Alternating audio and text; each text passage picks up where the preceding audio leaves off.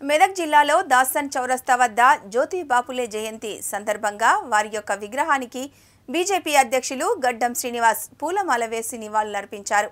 బడుగు బలహీన వర్గాలకు ఏవైతే కలలు ఆశలు పెట్టుకున్నారో వారి అడుగుజాడల్లో నడవాలని కోరారు. ఈ కార్యక్రమంలో జిల్లా నాయకులు కార్యకర్తలు తదితరులు పాల్గొన్నారు. తప్పదు.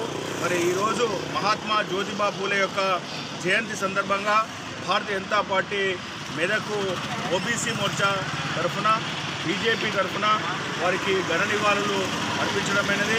మరి వారిని స్మరించుకుంటూ రాబోయే రోజుల్లో కూడా నరేంద్ర మోడీ గారు ఏ విధంగా చేస్తూ ఉన్నారో ఇక్కడ తెలంగాణలో కూడా ఓబీసీ వర్గాలకు ప్రత్యేకమైనటువంటి స్థానం కల్పించాలని చెప్పేసి మేము ఆశిస్తూ ఉన్నాము.